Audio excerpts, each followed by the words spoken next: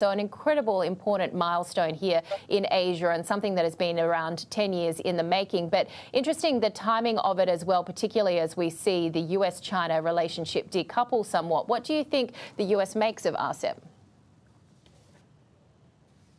Well, um, I think in many ways RCEP is uh, a shot across the bow for the United States regarding its viewpoint on how it wants to engage with Asia. You know, first was TPP, which the U.S. led and then decided not to join, and now we've got RCEP. So you have two substantial economic deals that could really shift um, supply chain focus um, to an intra-Asian uh, supply chain prominence, with uh, U.S. exporters being left out.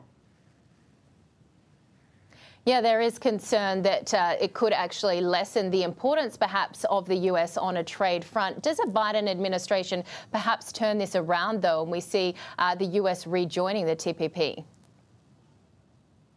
Mm.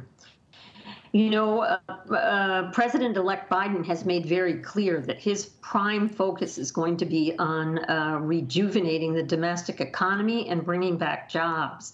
I think the United States um, general population has become uh, even less, uh, how do I want to put this, uh, sort of much more focused on domestic issues and less aware of what's going on in the international arena. And I think that President Trump's um, strong kind of um, bash the other guy approach to international trade uh, makes it hard for a Biden administration to think about TPP early on.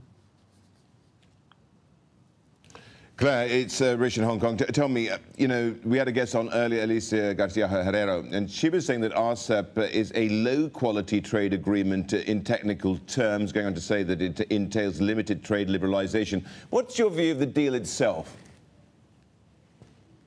Well, you know, it's it is it is a kind of old school deal for sure, and it is not um, uh, sort of breaking new ground with regard to trade rules. But it actually does something that uh, a lot of uh, trade analysts talk about being very important, and that is it takes that spaghetti bowl of rules that apply across all those different bilateral FTAs and instead creates a a singular set of rules, a streamlined, a kind of you know bullet train for uh, for for goods to travel across and around the region now. Uh, so, from a practical perspective, it, it, could be very, very helpful for businesses. From a geopolitical perspective, it's of course important uh, when you think about the fact it's the first agreement that uh, Japan has had with uh, China or Korea. It's uh, the first multilateral free trade agreement that China has had, and it obviously you know, indicates again to the United States that um, the world is moving on. All of the U.S. trading partners in Asia are moving on to try to create more efficient, productive trade, and uh, the U.S. is not at the table right now. Uh, Claire, does uh, the Trans-Pacific Partnership, I know you alluded to it already, does the TPP come back into play as of January the 20th and uh, the inauguration of a new president there in the U.S.? Well, I think um, the attitude to the outside world uh, takes a paradigm shift. So that I think a Biden administration, even with a very strong focus on combating the coronavirus pandemic and really bringing uh, the U.S. back to prosperity, uh, is going to be looking uh, across the globe to its allies and partners and to those who are important competitors like China to understand how the United States can prosper effectively. There's too many things going on in our globalized economy to think that the United States can actually uh, come back to a robust economic future without thinking about the international dimension. So I would say that it's probably more a kind of weather shift, if you will, an atmospheric shift, at least at the outset, rather than uh, the Biden administration wanting to plunge into doing some kind of very big headliner international trade deal, per se. Claire, we know your focus is is mainly from the US point of view, but I did want to get your thoughts, if we can, on just the fact that India hasn't signed this RCEP deal, but there is this clause in place that they can, if they want to join at a later date. Is this symbolic as we start to see these big relationships occur with uh, big powerhouses outside of the US, the likes of China, perhaps giving a bit of a hand here to India if they do want to join down the track?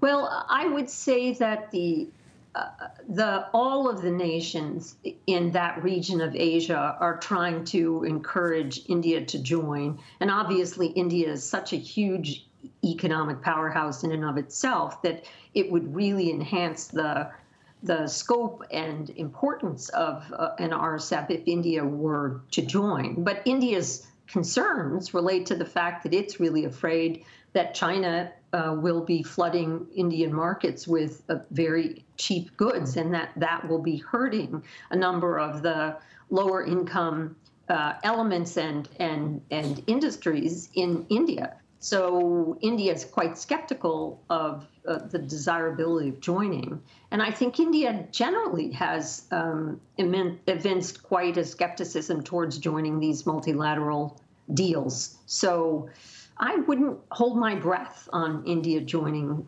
soon. Claire, also give us a sense of uh, a Biden administration. You know, we've talked, talked around it to some extent, but AK may not join TPP or uh, the uh, CP. Uh, TPP as well as it's uh, morphed into, and uh, looking at RCEP as well.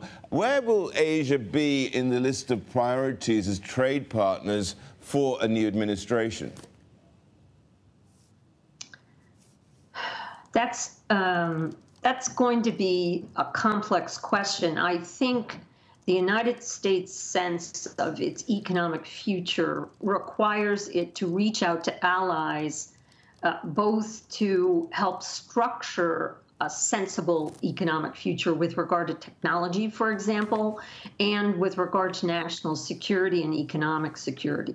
So I think there is going to be outreach to uh, the the um, the partners, U.S. partners in Asia, for sure, to try to work out some of these issues. And some of them, of course, relate in a backhanded way to China.